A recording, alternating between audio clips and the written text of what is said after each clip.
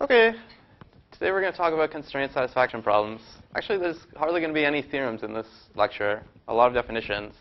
Maybe you've seen them before, but uh, it's going to be a topic we'll talk about periodically for the rest of the class, so we should uh, get started on it today. So I guess in this crowd, probably most of you have heard of constraint satisfaction problems before, so I'll be a little bit brief, and if you have any questions, feel free to ask. Um, so here are some examples of constraint satisfaction problems that you may well have heard of. Uh, you know, like max 3sat. So here you're given a CNF formula of width at most 3, and you're trying to find an assignment for the variables that satisfies as many of the clauses as possible. Or max cut. Is you're given like an undirected graph, and you want to partition the vertices into two parts to maximize the fraction or the number of edges that have one vertex, one endpoint in each part. Here's one called max E3 lin. In this one, you're given a bunch of uh, linear equations over the field F2. Something like this is a typical example. This is mod 2. And uh, the E3 stands for the fact that there are exactly three variables in each constraint. Um, for example, if I had written E3 sat here, that means every clause has exactly three literals in it. And uh, here's one more, just to give you an example where you have a constraint satisfaction problem not over the Boolean domain.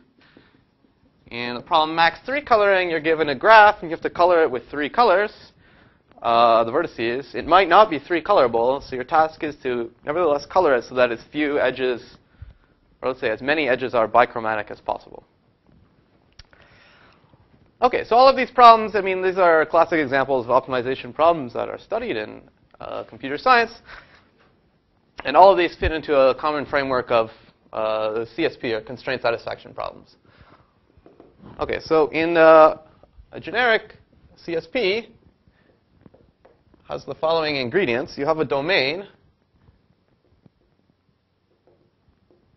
omega, which is the, I mean, okay, what's common to all these things is you have like a bunch of variables that you're trying to assign with values to satisfy a bunch of given constraints.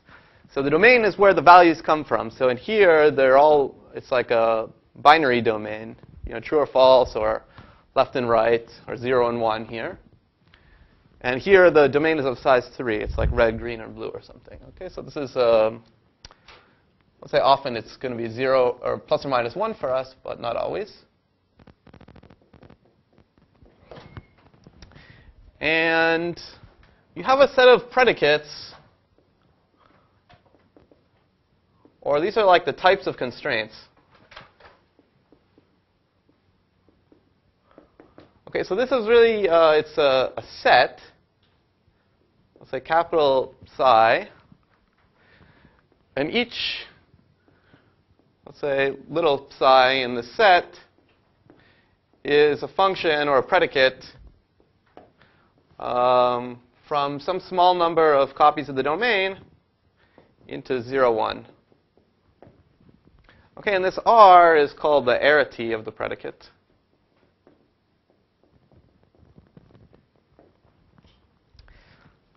Um, and overall, the arity of the CSP is the, the, maximum arity of all the predicates that are involved. Okay, so let me explain to you. This is maybe a bit unclear, but you see in each of these things there's sort of different kinds of constraints that are allowed. So let me explain uh, how each one fits into this framework. Okay, so in max 3sat, uh, the domain is a binary. You can call it, I don't know, true or false if you like.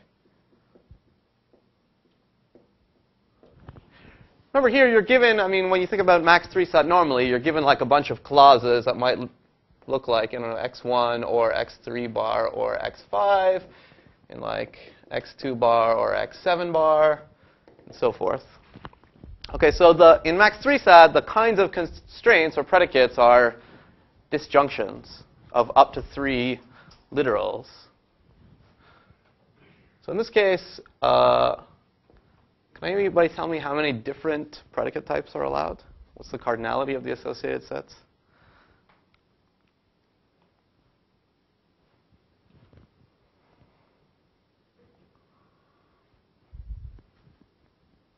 No? It's too much addition at this time of day?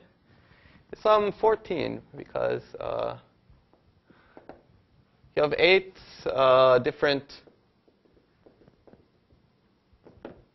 size 3 disjunctions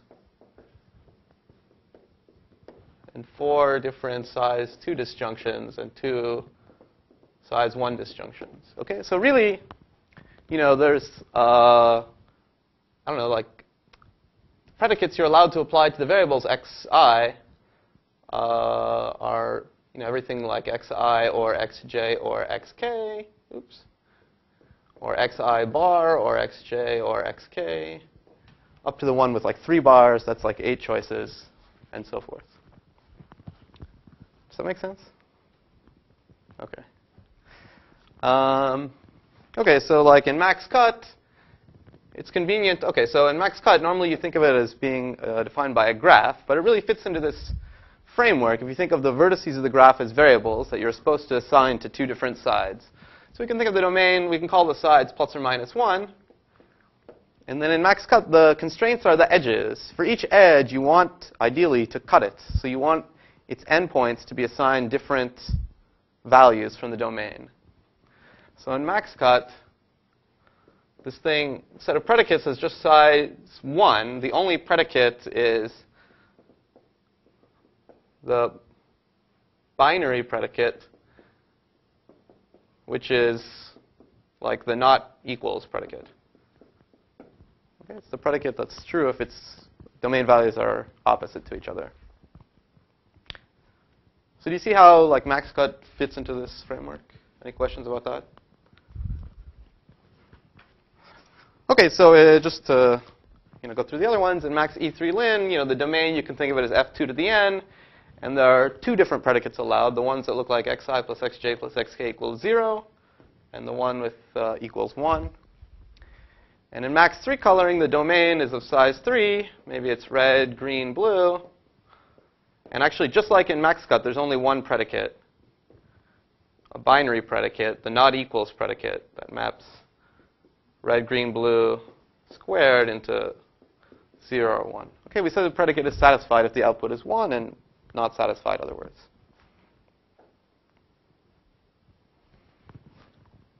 Okay, one more notation I'll maybe eventually use.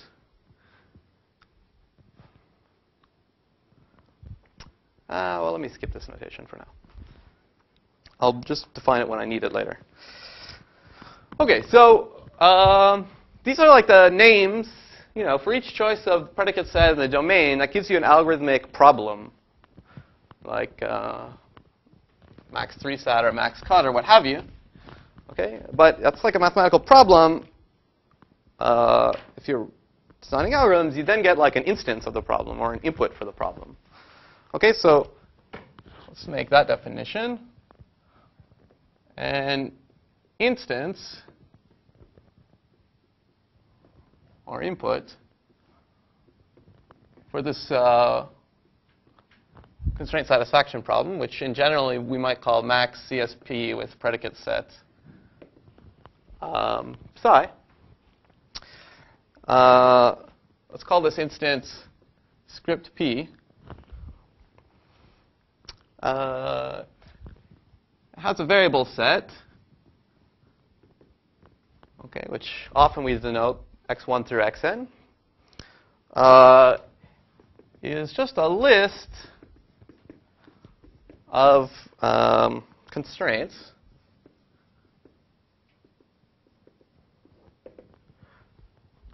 And each constraint, C, has two parts, S and psi, where psi is one of the functions in the constraint set, and S, the scope, is a tuple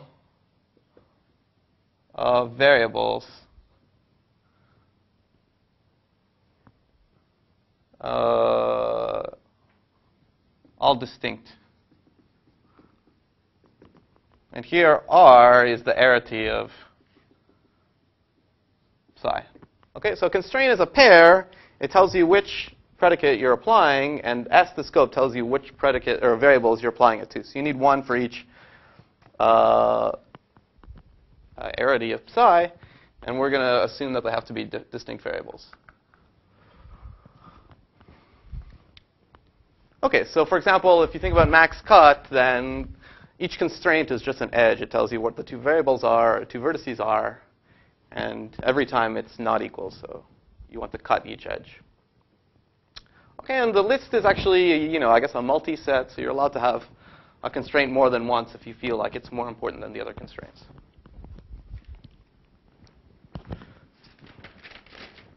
Okay, and naturally, you know, given an instance or a, a P, the associated algorithmic task is to find uh, an assignment to the variables of domain values to the variables so as to maximize the number of constraints that are satisfied.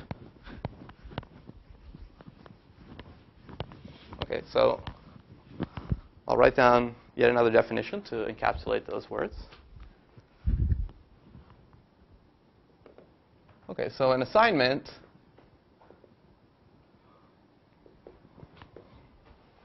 or a labeling uh, for an instance P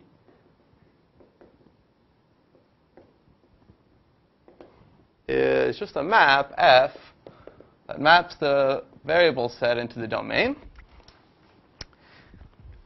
And we say that F satisfies a constraint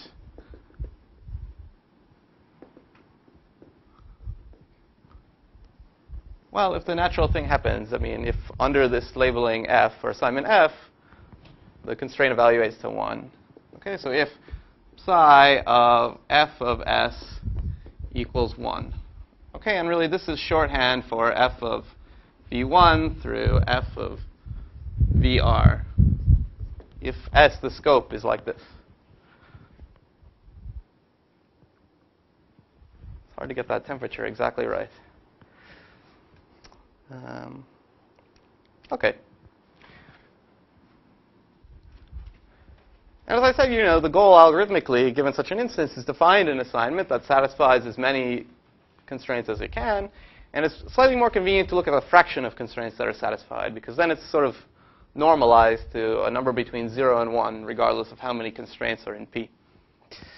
Uh, so we say that the, the value of an assignment f on an instance P is the fraction of constraints satisfied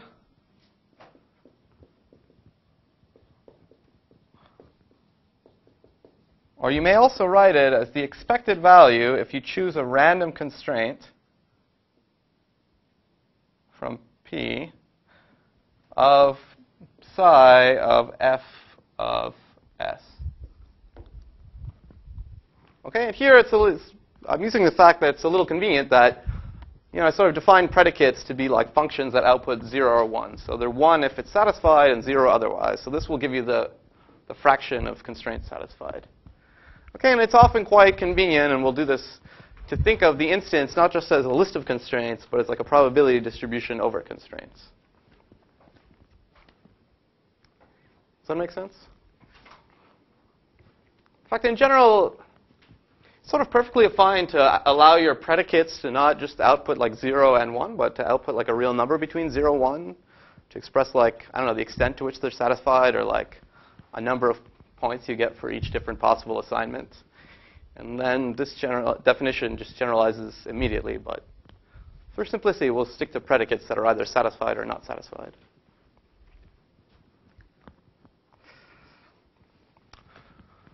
Okay,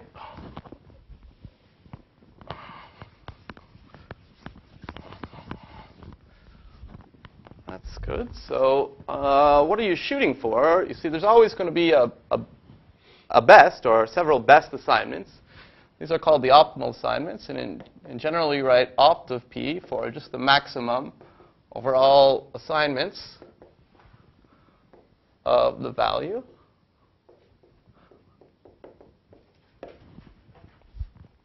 Okay, uh, often we're interested in instances where the opt is 1.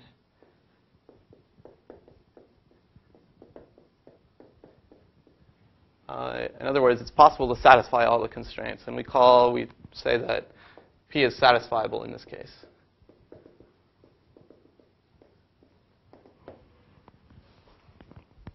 Okay. So that's all the definitions I want to make for a little while. Okay, so this is familiar stuff from the theory of, I don't know, algorithms or optimization. Actually, I want to make one notational note here. Um,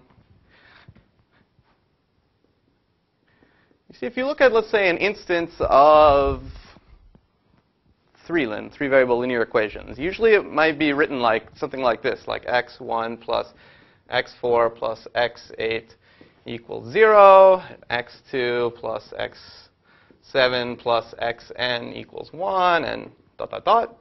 You know, this may be your instance p. Uh, and that's how you write it in like elementary algebra.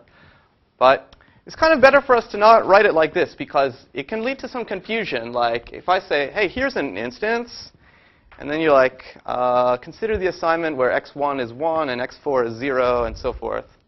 Then it's confusing because there's like it's unclear the distinction between like the variable and the value the variable is taking. Okay, so we need to make sure we disambiguate this. So, you know, the variables will continue to be named like xi, but we're going to prefer to write like our instances with the assignment name like built in. So I would rather write it like this.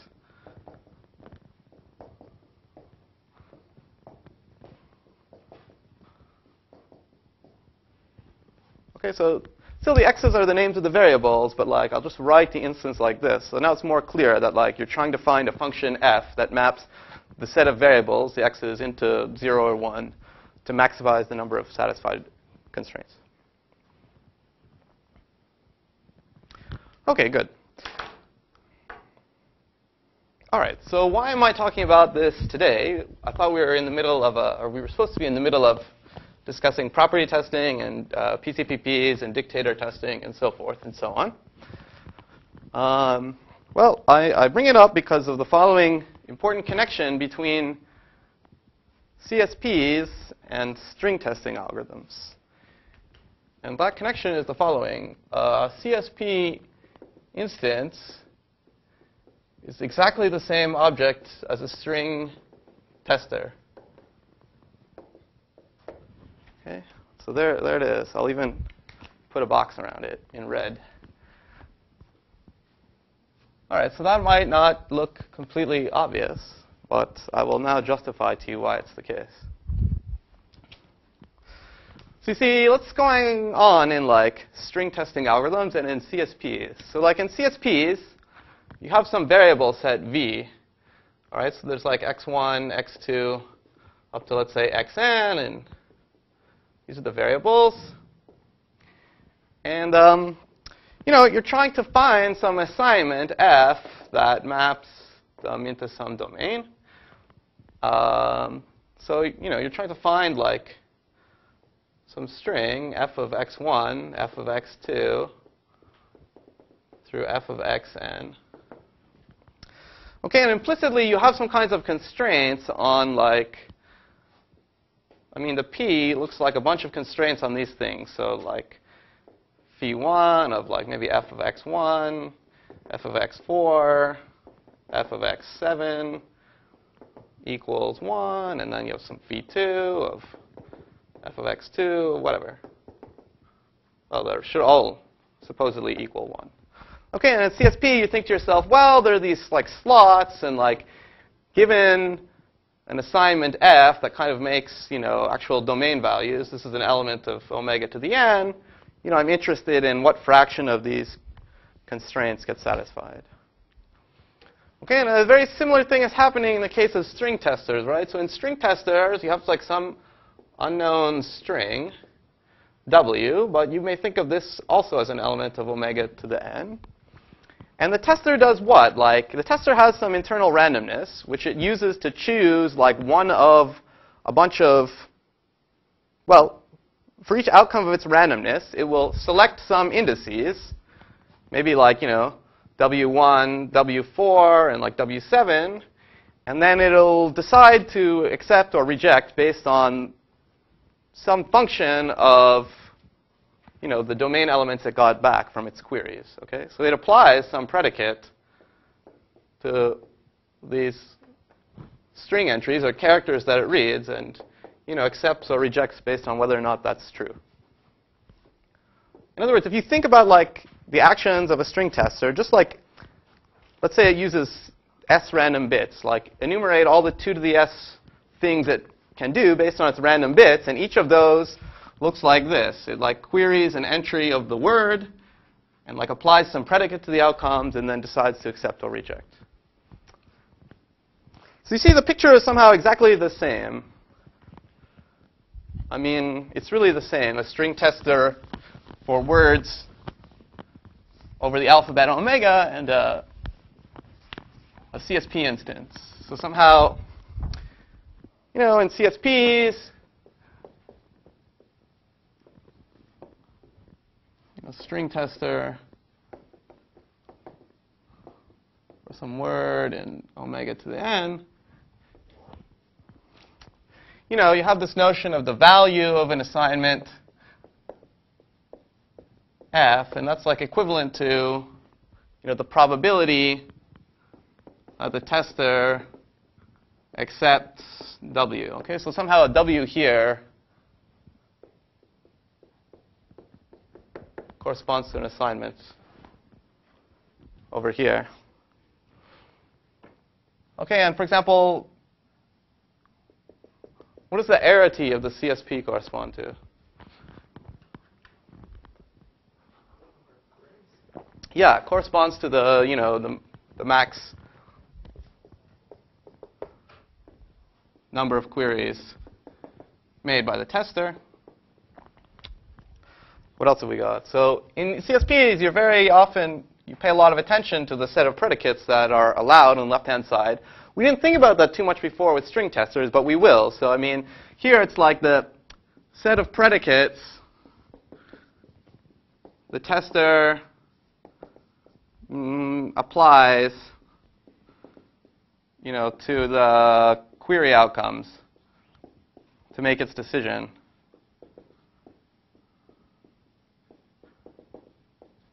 So we didn't think about that very much before. We just sort of mostly counted how many queries it made. But later we're going to we're going to start thinking about this more refined question of also what predicates the tester uses to make its accept reject decisions. Okay, and you can actually think of you know, given us, for example, just another comparison, you know, if I give you the description of a string tester, you might ask yourself which word passes or you know is accepted with the highest probability. And that's the same question that you typically ask yourself in CSPs. Given a CSP instance, which value, sorry, which assignment has the highest value? Okay, so it's the exact same concept in different guises. And uh, we're going to exploit that. Any questions about that? By the way, I mentioned last time when we were talking about uh, PCPP reductions that you know PCPP reduction was an object that took a, a circuit as input, which implicitly defined a, a uh, property, the set of all strings that the circuit accepted, and it was supposed to output a string tester that had this PCPP uh, property. And I said, you know, if you think about outputting a string tester, just imagine you output the whole description of what it does. But now we can see what it's really just outputting is outputting a CSP. Okay? A CSP where the variables are like the entries of the, the word that's being tested. Okay, so good. So as an example, let's take our favorite well, let's take a string tester that we're familiar with. So one string tester that we're familiar with is, well, we also know that every function tester is also a string tester. So one example of a string tester is the BLR test. Remember this linearity test?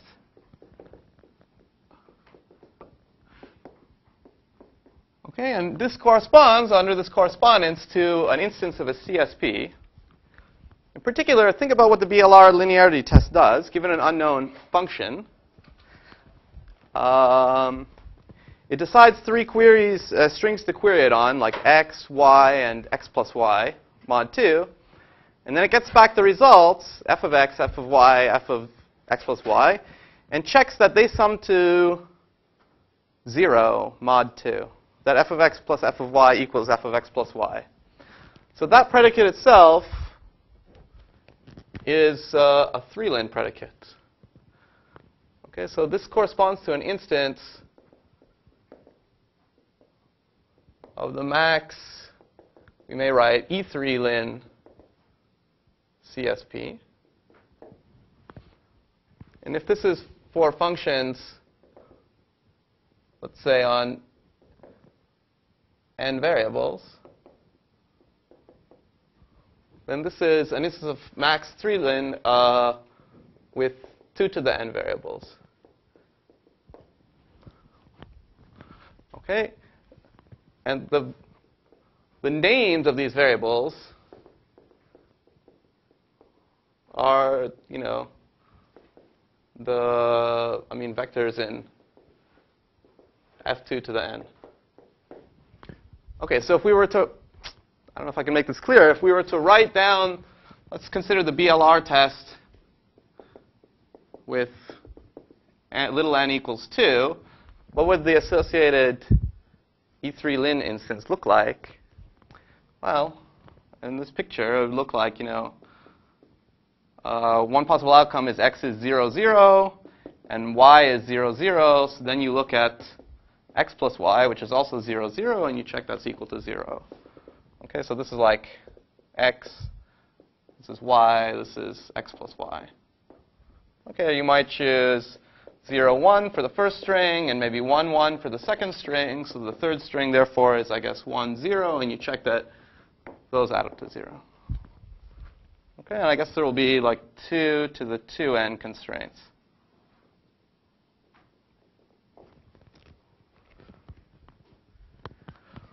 Okay, does this make sense?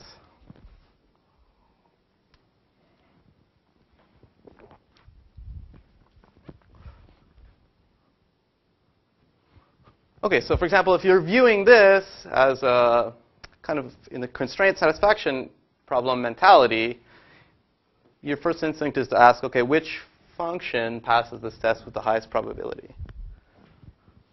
Okay, in fact, we know that, you know, by analyzing the linearity test, what we sort of saw is any function or assignment that is a linear function has value 1. It satisfies all the constraints. And in fact, the only assignments that have value 1 are the linear assignments. And the only assignments that have value close to 1 are the ones that are close to linear assignments. Okay. All right, so um, let's talk about algorithms a little bit more. Eventually, this will all get back to analysis of Boolean functions, but going to talk about computational complexity a little bit.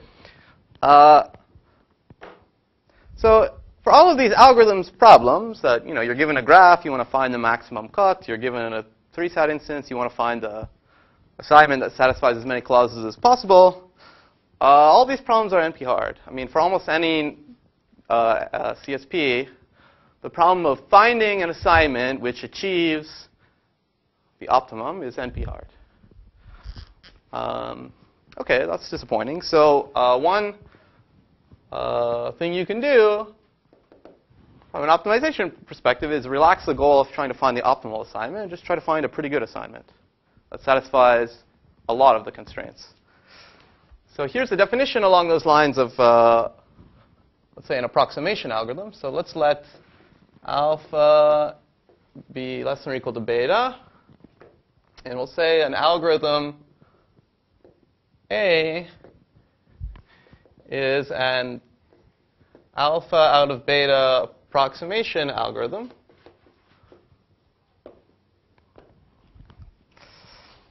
Uh, for a given CSP, if it has the following guarantee, on all instances where the best assignment has value at least beta. In other words, where instances where the opt is at least beta,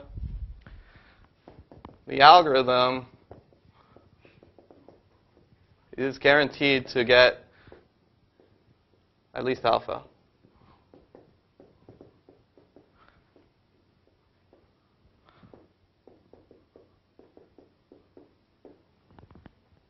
Okay? So, I mean, the ideal thing would to have would be to have like a beta comma beta approximation algorithm because that means, you know, if the optimum is beta, then your algorithm will find an optimal solution. But as we know, that's NP hard for almost all problems, so that's asking too much. Okay, so just to get used to this notation, um, I'll give you examples of some examples of alpha beta approximation algorithms. I imagine most of you have seen this stuff before, so I'll go a little quickly.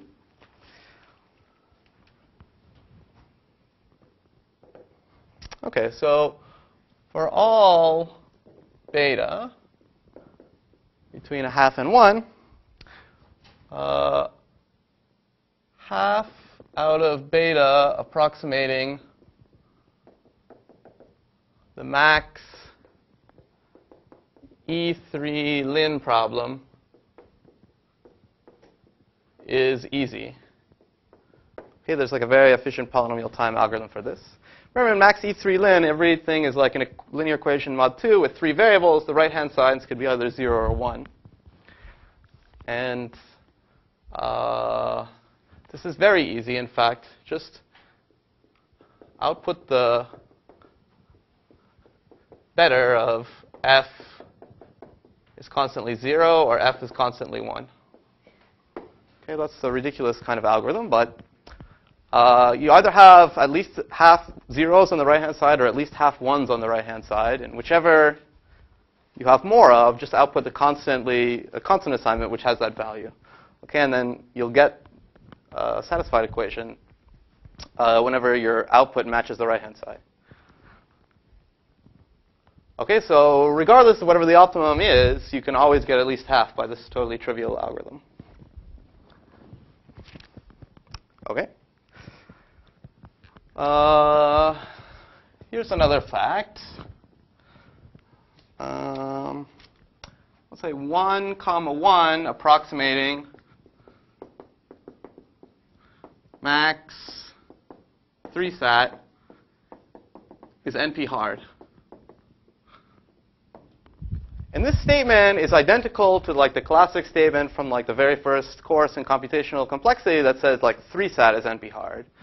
Because if you decipher what the parameters mean here, this is the algorithmic task of even if I give you an instance of 3-sat where it's possible to satisfy 100% of the clauses, it's NP-hard for you to come up with an assignment that satisfies 100% of the clauses. Okay, so that's the usual meaning of the statement 3-sat is NP-hard. And so it says in our notation, one, one, one out of one approximating is NP hard. Okay. Um, similarly, one out of one approximating max three coloring is NP hard.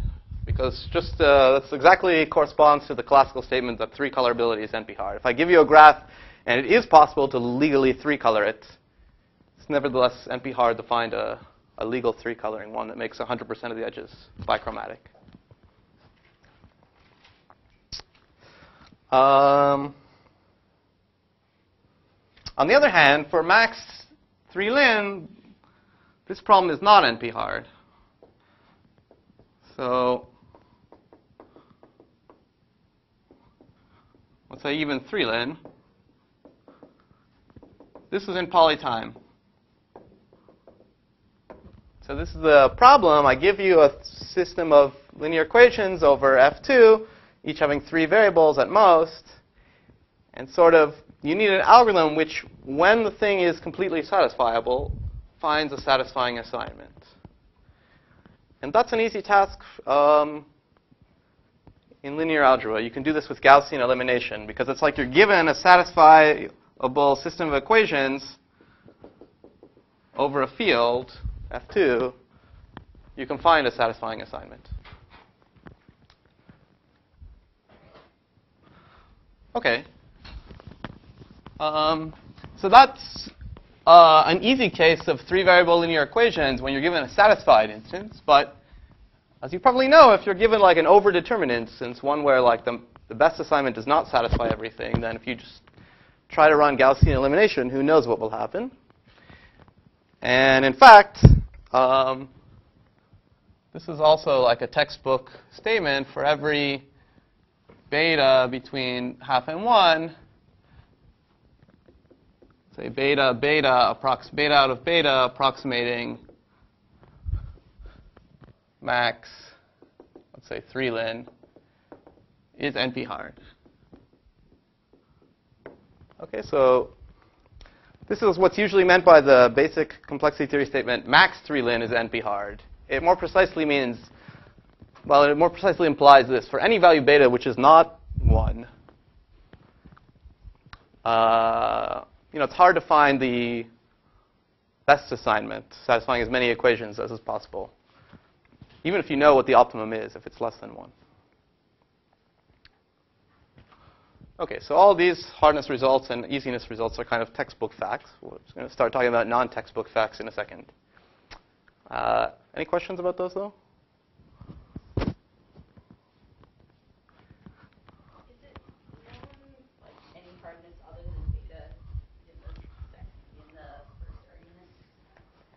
Pardon me? So, like, are any hardness results known, like, uh, getting less than beta? Yeah, we'll say some in a second. In fact, that's what we're driving at with all this dictator testing and property testing stuff, getting stronger hardness results. Uh, just as an example of like a non-textbook but true fact, there's a famous algorithm of Goemans and Williamson for the max cut algorithm, which a problem which has the following guarantee: for every let's say for all beta, actually it's one algorithm with the following property. For every beta, it's uh, 0.878 times beta out of beta approximation for max cut. Okay, it's polynomial time too. Okay, so given any graph, no matter what the optimum beta is, it is guaranteed to find a cut that's at least 87.8 percent cuts at least 87.8% of the optimum fraction. Okay, and that's a highly non-trivial polynomial time algorithm. Okay, so yeah, besides this connection between CSPs and string testers, why are we inserting all this talk of approximation of CSPs into this part of the course? Um, it's because all the, uh, there's all sorts of great tools from analysis of Boolean functions for proving hardness of approximation results. So this says that giving, getting the optimum assignment to an overdetermined system is NP hard, but we would like to ideally even show that getting, let's say, 90% of the optimal number of uh, satisfiable equations is also NP hard. Okay, and this is where analysis of Boolean functions and uh, dictator tests and so forth will come in.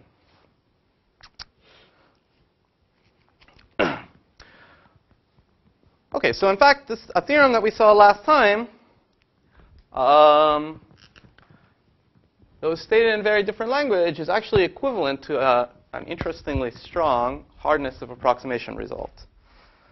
So there's a famous theorem in complexity theory called the PCP theorem. We saw a little variant of it yesterday or last time. And I'll restate that for you in a second. But the classic version, the PCP theorem, is identically, exactly equivalent to the following statement. It's usually not stated in this language, but they're totally equivalent. There exists a universal constant delta naught greater than 0 such that 1 minus delta naught out of 1 approximating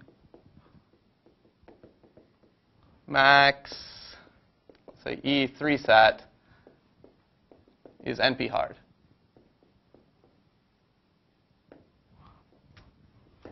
Okay, that's an equivalent statement of the PCP theorem. And so it's a strengthening, uh, it's like a very interesting strengthening of this guy. It says even if I give you a, you know, a 3 CNF and I promise you it's totally satisfiable, it's NP hard to find an assignment that satisfies some 99.999% of the equations. Okay, in particular, it sort of says, if you know what this terminology means, that you know there's no PTAS for max 3 sat polynomial time approximation scheme unless p equals np. Okay, and you know, last time we saw what I termed the PCPP theorem, which is stronger than the PCP theorem. So in particular, it implies this statement.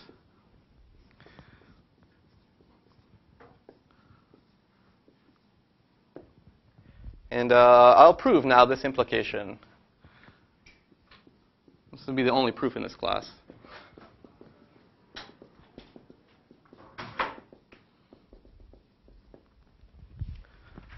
Well, I'll mostly prove it. What do you what do you mean by the word universal? Oh, I just mean that like it doesn't depend on like n or anything. Like it's some number. It's unspecified. It's probably 10 to the minus 10 or something. But So 99.99 would actually. Maybe with nine zeros, yeah, or 10 zeros. That somehow that doesn't seem like it satisfies you? Well, I guess like, you know, in all these others, uh, like, does it make sense to talk about uh, an alpha that has an end? Yeah. Um. Yeah. You. It's not clear if our definition really allows for it, but one it can sometimes. Uh, one often it does want to be flexible and let's say allow alpha to depend on n or m. I mean, it's okay. Usually n and m. M being let's say the number of constraints is implicitly defined. So for example, you might also call this result, you know, 1 minus 1 over m, where m equals the number of constraints. Okay, so even if it's possible to satisfy all of the constraints, it's hard for you to satisfy, okay, I don't know, maybe plus a half or something, more than 1 minus 1 over m. But that's really just saying more than m minus 1 constraints. Um, but yeah, it, you, you, it is sensible to talk about you know, these alphas, let's say, being as a function of n or m. I'll, in fact, say more about that eventually. Okay, so in order to prove this implication, I hope you remember the PCPP theorem. I'll try to sort of say it to you as we go along. Uh, so if you remember this PCPP theorem, it asserted that there was a PCPP reduction where the proofs have polynomial length. Okay, so what does that mean? In a picture, okay, so the PCP theorem implies there exists like a poly time PCPP reduction, which takes as an input a circuit C, which has n Boolean inputs, and it outputs well, it outputs a, a three-query tester.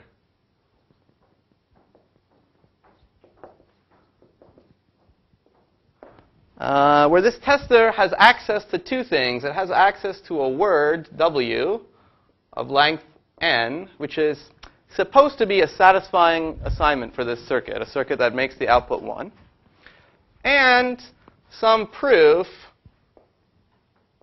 pi, of length poly n. Okay, and in the, the version of the PCP P theorem that we proved, this length was 2 to the 2 to the n, but I told you that it's an exercise to get it down to 2 to the n, and it's a major theorem to get it down to poly n. Um,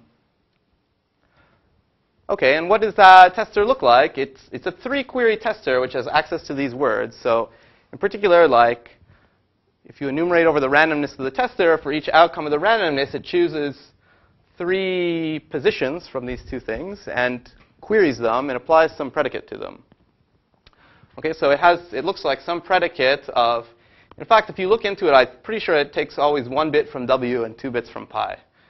So I don't know, like W1 pi 7 pi 8 equals 1. And maybe has another one that's like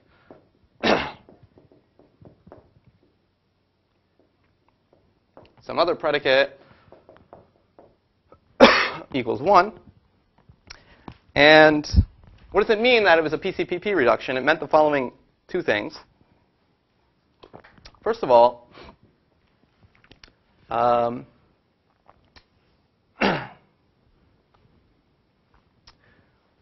if W is any word that satisfies C, then there uh, exists a pi such that 100% of these checks pass. The tester accepts with probability 1. On the other hand, stating the soundness part of the PCPP theorem in contrapositive, if you have some W and some pi, okay, so this has some rejection rate, sorry. Let's say lambda 0. if you have some W and some pi such that the tester accepts with probability at least 1 minus lambda naught times epsilon, then there exists a W prime satisfying C such that uh, W is close to W prime. Okay, and this was for all epsilon. Okay, so that's the second condition, or the completeness condition of the PCPP system. Okay, so the PCPP theorem asserts that some reduction that makes a circuit and outputs this tester exists with these two properties. And furthermore, it's kind of an exercise to show that you can assume without loss of generality that all of these predicates on three positions are disjunctions. okay, or if you don't believe that, you can just believe me when I assert that in the PCP theorem, the tester always uses disjunction predicates. So that means that actually these all look like constraints that look like, I don't know, this. W1 or pi 7 or pi 8 bar, W10 bar, or pi 5 or pi 100, etc.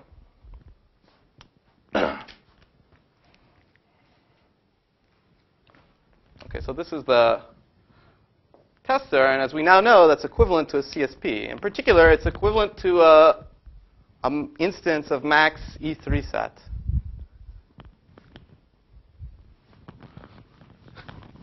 Any questions about what's going on?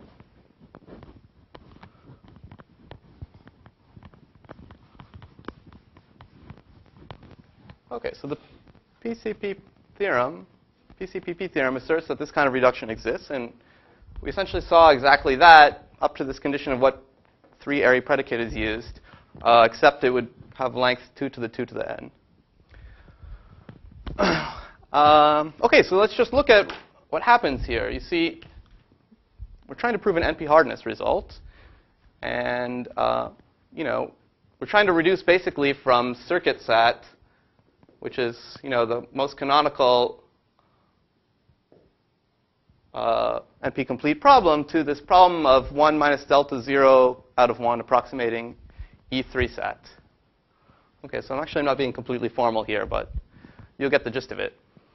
Uh, what I want to say is, you know, basically this is saying that if there were a polynomial time algorithm that could do this, then by reduction there would be a polynomial time algorithm that could decide if a circuit is satisfiable or not. Okay, and that's a canonical NP complete problem. And it essentially gives us evidence that you cannot do this in polynomial time. And so why does that work? Well, notice in this reduction, if C is satisfiable,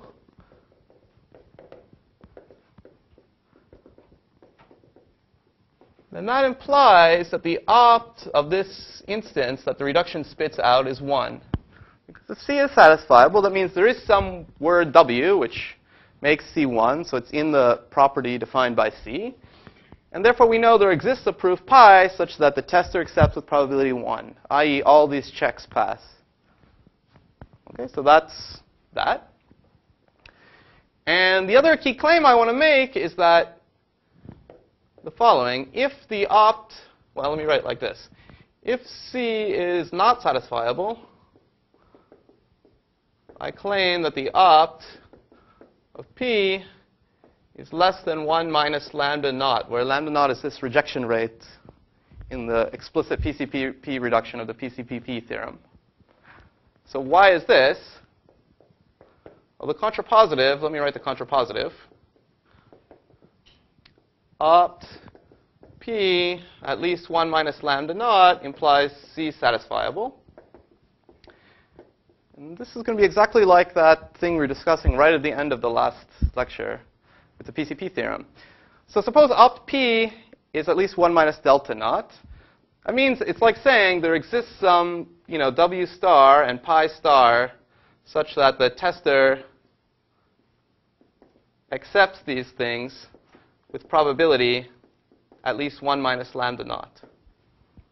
Okay, and you can write this as 1 minus lambda naught times 1 if you want. And so by this soundness condition, it means that there exists some W prime satisfying C such that the distance of W star to W prime is at most 1. And you know, by that joke from last time, that implies that there exists a W prime satisfying C.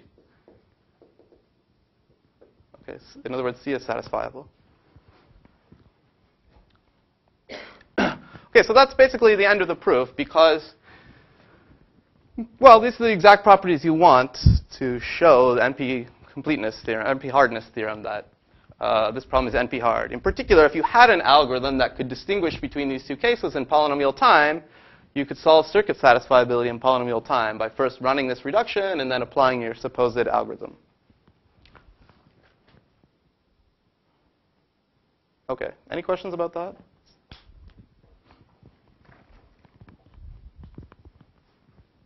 Okay, so that's a great theorem from the mid 90s.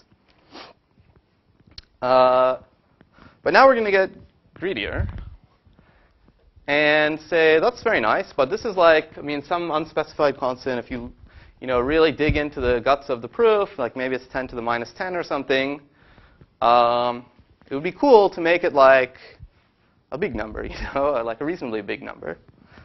Uh, so how big can we make delta naught? Oh, I should have said that like the delta naught here is exactly the lambda naught here.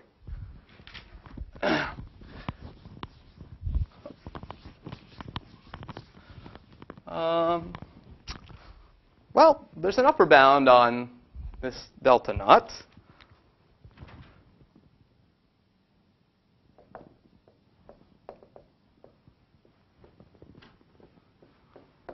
Well, it's not going to be uh, bigger than 1 eighth. Why? Because there exists a simple, well, let me just say, there exists a polytime 7 eighths 1 approximation algorithm for max E3 sat. Okay, so it's not gonna, this, this is not going to be NP hard unless P equals NP, which is false. Uh, okay, and how, why is this the case? How do you approximate uh, E3 sats so well? Always get a 7 8 fraction of the clauses. Well, here's the algorithm. Just output a random assignment. Oops.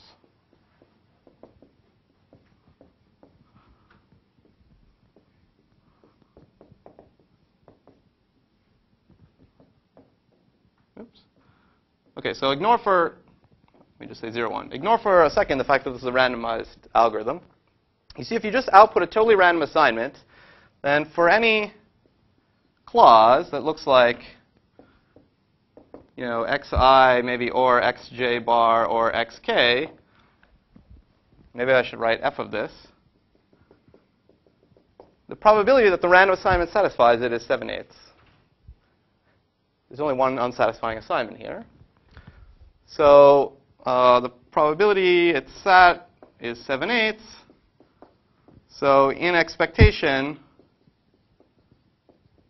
this algorithm satisfies 7 eighths of the clauses.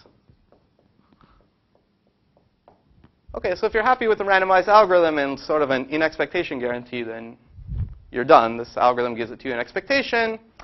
If you're picky for some reason, then you can also easily de-randomize this algorithm. Okay, so there is a simple uh, algorithm that guarantees satisfying 7 eighths of the clauses no matter what the instance is. In fact, this is a particularly ridiculous algorithm because, at least in the randomized version, it does not even look at the instance. You don't even need to see the instance. You're like, doesn't matter. Here's my solution. So uh, it looks like a very ridiculous algorithm. Uh, but, in fact, it's the best that you can do in polynomial time. That's going to be our goal for our next class, to show that. Actually, let me just comment here that here we heavily relied on the fact that we were doing E3 sat, where all the clauses had exactly 3, width 3.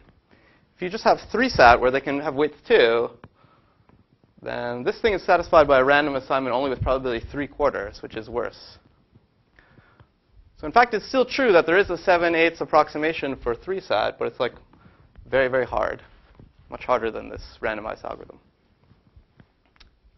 OK, anyway, as I was saying, uh, next class, we're going to talk about Håstad, well, a couple of Håstad theorems from the late 90s. And one of them is that uh, the following. For any constant epsilon greater than 0, it's NP hard to 7 eighths plus epsilon out of 1 approximate max E3 sat.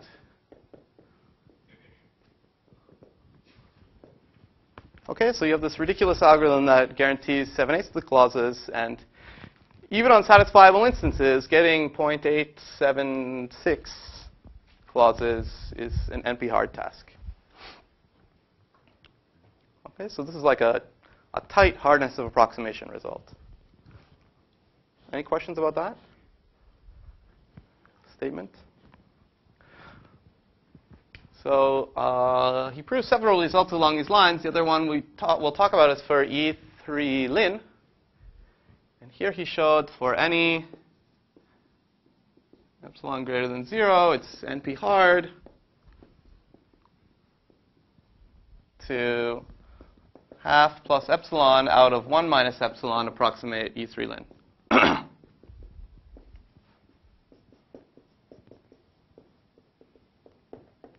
other words, given a linear system over F2, all the equations have three variables. Even if I promise you that there is an assignment that satisfies 99.9% of the equations, it's hard for you to find an assignment that satisfies even 50.1% of the equations. yeah? Is this uh, strictly stronger than saying that it's hard to uh, one half plus epsilon comma one approximate?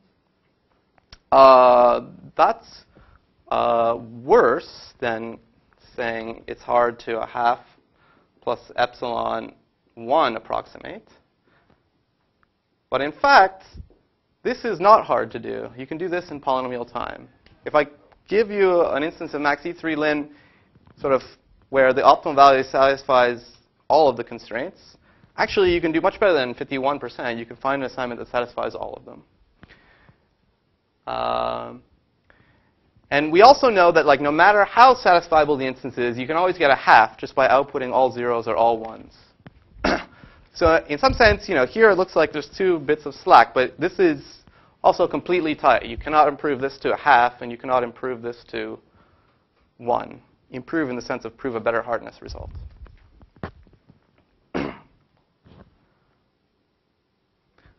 okay, so these are some great theorems about the difficulty of solving basic uh, optimization problems. Um, okay, what do I want to say about this? Okay, so uh, how does one prove such a result? Um, it's a bit complicated, but let me tell you about the ideas. So if you look back at this theorem, which I erased here but was proving here, it was about showing hardness. Let's just talk about for now the three-sat problem. Uh, it was about showing hardness of 1 minus delta 0 out of 1 approximating 3-sat. And the result that we got out of this PCPP theorem you know, said that this was NP hard for some like absolute universal constant delta zero. Uh, and where did that delta zero come from? As I said, it was exactly the the lambda. Yeah, it was the rejection rate in this PCPP system. so you might have this, um, well, actually valid uh, instinct that, you know, to get a better delta zero, you should try and make this rejection rate bigger and bigger. So cast your mind back. Where exactly did this rejection rate come from? Well, at least it's hard to say because this was the, the PCPP theorem with poly-length proofs. But if you look at our version of it that had 2 to the 2 to the n length proofs, uh, it came out of a property of the combination of tests that we used. And what tests do we use? Well, we used some stuff like local correction and so forth. But the main ingredient was the dictator test. I mean, that was the main driving force behind our PCPP reduction, the dictator test. And you know, ultimately, that was some combination of the BLR test and this Arrow's theorem, not all equal tests. And that's sort of where our lambda really came from. And so you will get the feeling, or you may get the feeling, that to get you know, better rejection rates in your PCPPs, and therefore better hardness results for CSPs, you should design better dictator tests that have like good rejection rate. Okay, so the idea, an, an idea is to get strong hardness results for CSPs. Try to design dictatorship tests. Oops.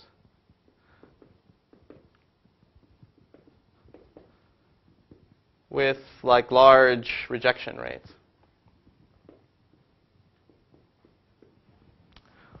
Okay, and this idea is a good idea. Um, and it's due to uh, Goldreich, and Sudan from around the mid-90s, maybe 94. and it's just one component of the overall program. I mean, uh, Oh, I should also, okay, let me add one more thing. In particular, if you want a hardness result for a particular constraint satisfaction problem, like the constraint satisfaction problem with predicate set psi, you want, ideally, a dictator test that uses constraints from psi.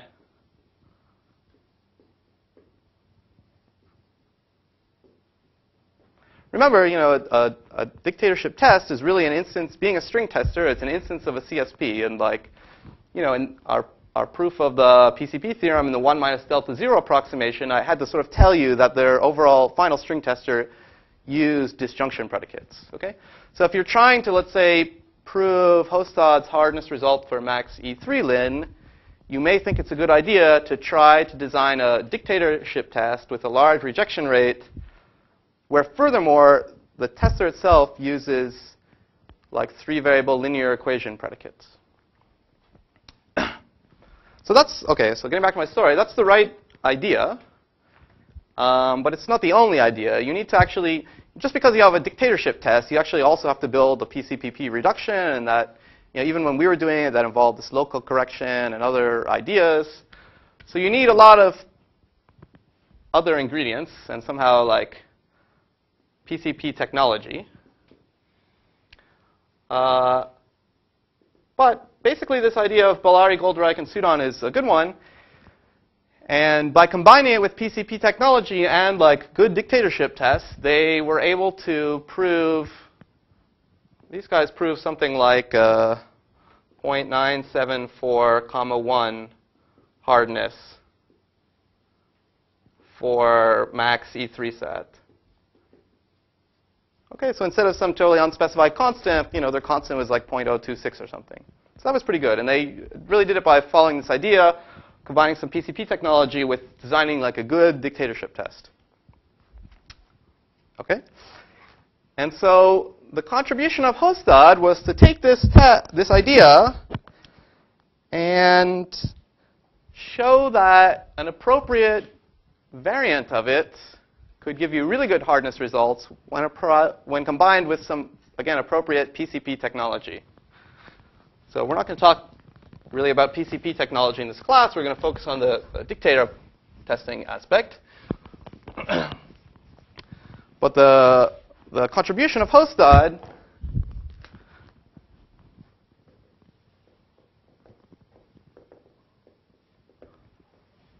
was um, to prove you know, hardness results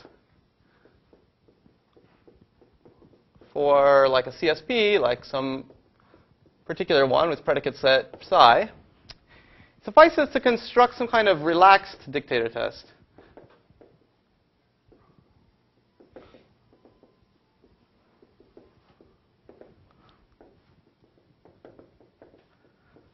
Okay, and what does that mean exactly? Well, we'll get into it more in the next class. But in a normal dictator test, the way we defined it, you're you know, testing an unknown function. If it's a dictator, you should accept it with probability 1. And ideally, with a large rejection rate, if it's sort of far from a dictator, if it's a little bit far from a dictator, you should try to reject it with large probability. And what Håstad showed is that it's enough to make a test which rejects with high probability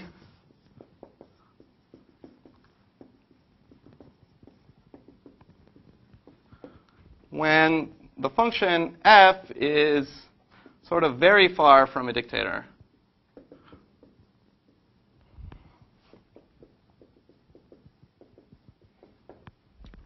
Okay, so you're not so picky about which functions that you reject. You only really have to reject functions that are very much unlike a dictator. And because sort of you have to do less, you only have to reject a smaller class of functions, it's sort of possible for you to get a higher rejection rate and thereby get sort of a better hardness of approximation result. Um, so one thing he had to do is show that, you know, given dictatorship tests, even this relaxed kind, you could transform them into hardness results using some PCP technology. So we're not going to talk about that PCP technology. But we are going to zero in on the question of what exactly does this mean, a relaxed dictator test, and what are the best sort of parameters and rejection rates we can get for them, and how that corresponds to getting a hardness result.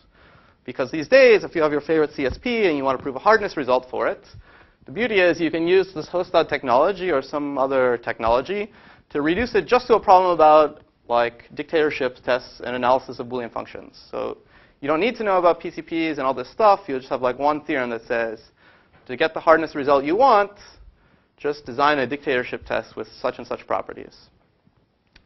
Okay. So, uh, yeah. That, when, if we can do that relaxed thing, do we use it to form the normal dictatorship test, or do we just bypass it altogether and go ahead and yeah, you kind of bypass it altogether, and like, basically, this relaxed dictatorship test, you can also think of it as a CSP, since it's a function tester or a string tester.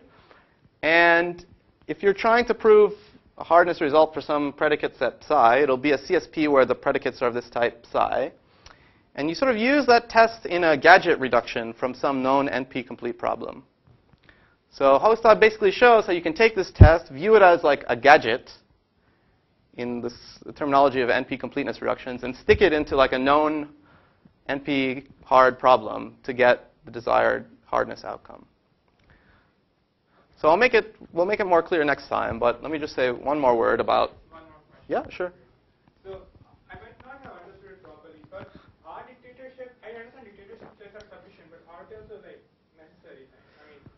I mean, Um, if you believe the unique games conjecture, then yes. Uh, a result from a few years ago. Uh, they're sort of necessary and sufficient.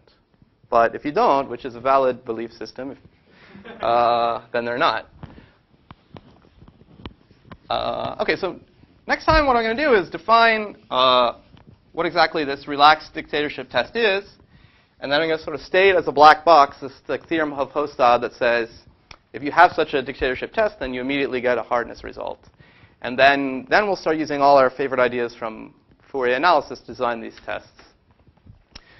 Uh, and while we're on the subject of unique games, uh, okay, so the, if you don't know it, this unique games conjecture is some notorious conjecture in complexity theory, which may or may not be true. Uh, but if it is true, then uh, you get sort of like a better and easier version of this Håstad uh, plan. So actually, if you really want to prove an NP hardness result, the Håstad says you have to do something that's even more complicated than construct a dictator test. You have to construct some weirdo version of a dictator test, which I don't want to get into.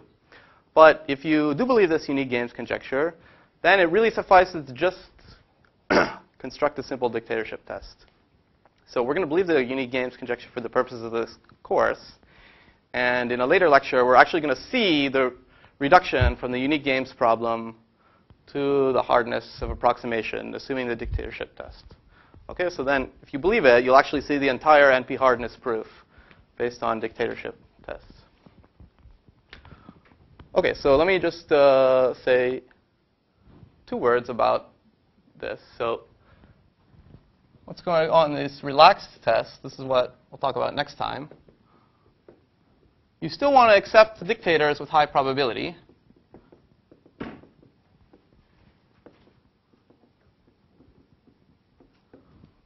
But you only need to, you only want to reject with high probability functions that have no, let me say, notable coordinates.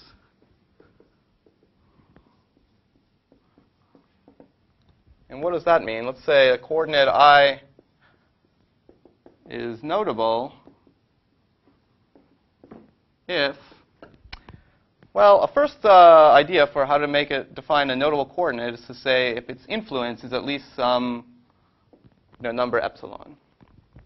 and that's a kind of reasonable definition, but one thing that we don't really like about it is uh, it's possible that like a, a function can have all of its coordinates notable. Like if it's the parity function, then all of its coordinates have influence 1, which is bigger than epsilon.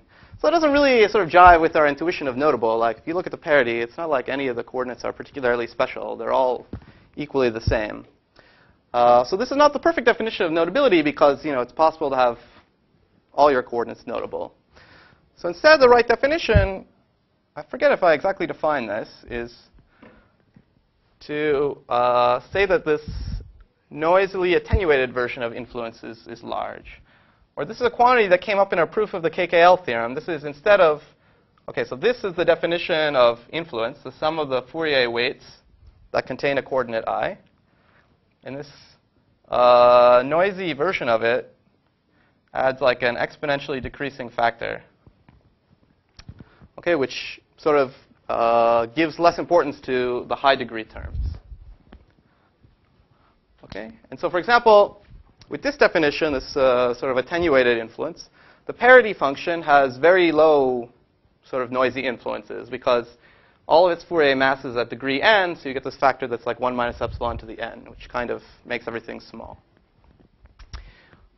Uh, I'll talk about this more properly next time, but a cool thing about this definition, saying a coordinate is notable if and only if even its sort of noisy version of its influence is large, is that you can easily show for any function f, it has only a constant number of notable coordinates, where the constant is something like 1 over epsilon squared.